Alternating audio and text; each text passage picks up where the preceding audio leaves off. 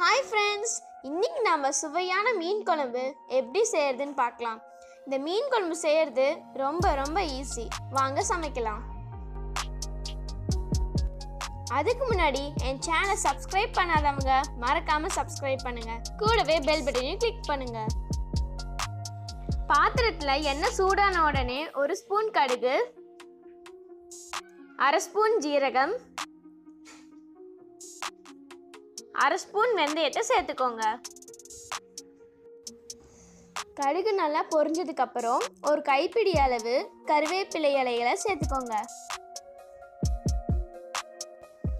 பத்து பூண்டு பல் சேர்த்துக்கலாம்.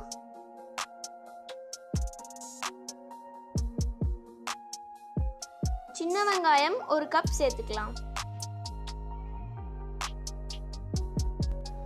மீன் குழம்புக்கு சின்ன வெங்காயம் நல்ல டேஸ்ட் கொடுக்கும்.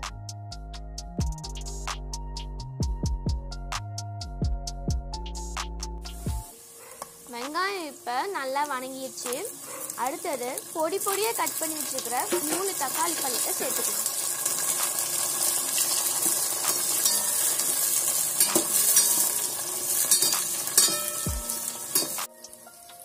வெங்காயமும் தக்காளியும் நல்லா வணங்கிடுச்சு. உப்பு தேவையான அளவு சேர்த்துக்கோங்க. அது கூட ரெண்டு ஸ்பூன் மிளகாத்தூள் ரெண்டு ஸ்பூன் மல்லித்தூள் அரை ஸ்பூன் மஞ்சள் தூள் சேர்த்துக்கோங்க. எப்பயுமே மீன் குழம்புக்கு உப்பு காரம் புளி சேர்த்து போட்டாதான் நல்ல டேஸ்ட் கிடைக்கும்.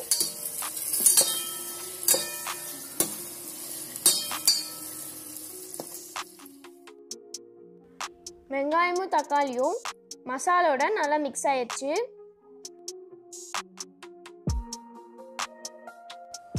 நெக்ஸ்ட் ஒரு கப் கரைச்சி வச்சிருக்கிற புளி கரைசல் சேர்த்துக்கலாம்.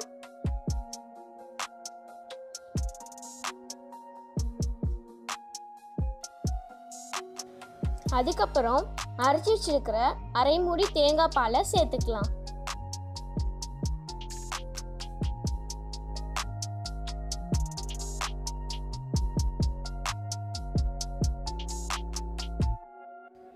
உங்களுக்கு தேவையான அளவு தண்ணி சேர்த்துக்கோங்க. குழம்பு பத்து நிமிஷம் கொதிச்சதுக்கப்புறம் கழுவி வச்சிருக்கிற மீனை சேர்த்துடலாம்.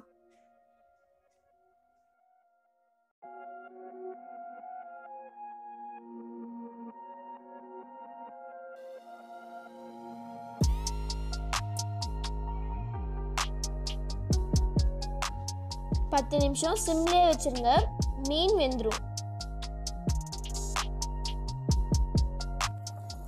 இப்போ நம்ம மீன் குழம்பு ரெடி இது நீங்களும் ட்ரை பண்ணி பாருங்கள் ஃபீட்பேக்ஸை கமெண்ட்டில் சொல்லுங்கள் இந்த வீடியோ உங்களுக்கு பிடிச்சிருந்துச்சின்னா லைக் ஷேர் சப்ஸ்கிரைப் மறக்காமல் பெல் பட்டனை கிளிக் பண்ணுங்கள் தேங்க்யூ